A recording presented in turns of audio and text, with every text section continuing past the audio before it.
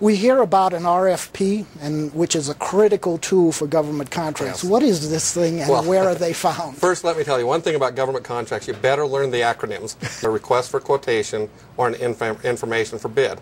So you'll hear a lot RFP, RFQ, or IFB. Those are all different sources for the government to go out and ask for you to provide what it would take for you to fulfill a scope of work.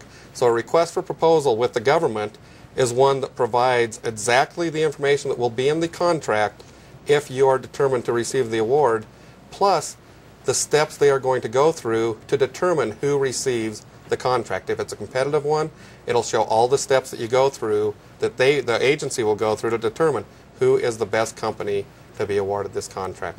That's what a request for proposal is. The uh, small businesses should go after work through requests for proposals and respond properly based on what the proposal is asking the companies to respond.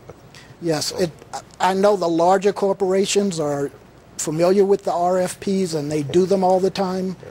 Is there any help out there for the small business owners to respond to these requests for proposals? Yes, there are. There's uh, several different uh, great websites. For one, the SBA website. They've got a manual on there that helps you understand what's expected when you're preparing a proposal. There's the And that's SBA.gov. SBA.gov, correct, www.sba.gov. If you go to the, that website and then you have a link on the, um, the uh, vendor source or vendor information, click on that and then there will be manuals that help you with the, the proposals in different areas of government business. Another great one is www.dcaa.mil, Defense Contract Audit Agency.mil, DCAA. That one has manuals that identify what they look for when they want to see what a compliant proposal is. So if you go and you look at those manuals, it'll tell you what an auditor is trying to find to make sure that the company has met the requirements.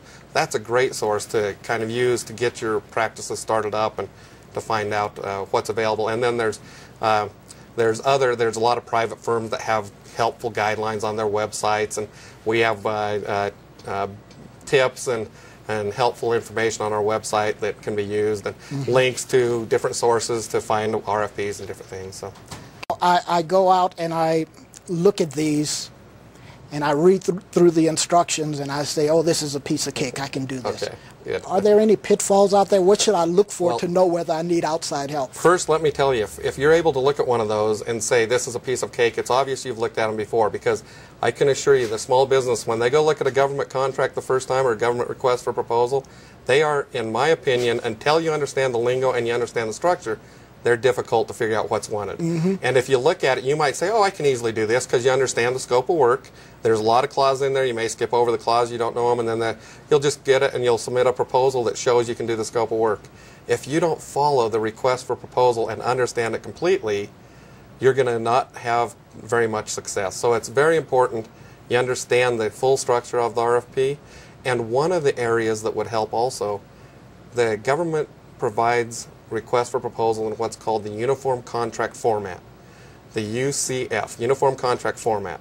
That is in the FAR Part 15, and it identifies. What is the FAR? Oh, the FAR is the Federal Acquisition Regulation. And where can you find this? you can find that on www.arnet.gov, A-R-N-E-T.gov. And ARNET stands for Acquisition Regulation Network. So A-R-N-E-T.gov. And on that uh, website, it identifies the breakout of the uniform contract format. And, and the uniform contract format breaks contracts and requests for proposals into sections A through M. That way, when you look at a solicitation, every time you look at section C, you know that's a scope of work. You look at section I, you know that's the clauses. You look at section K, you know that's the reps and certs. Once you become familiar with that structure, then understanding a request for proposal is a lot simpler.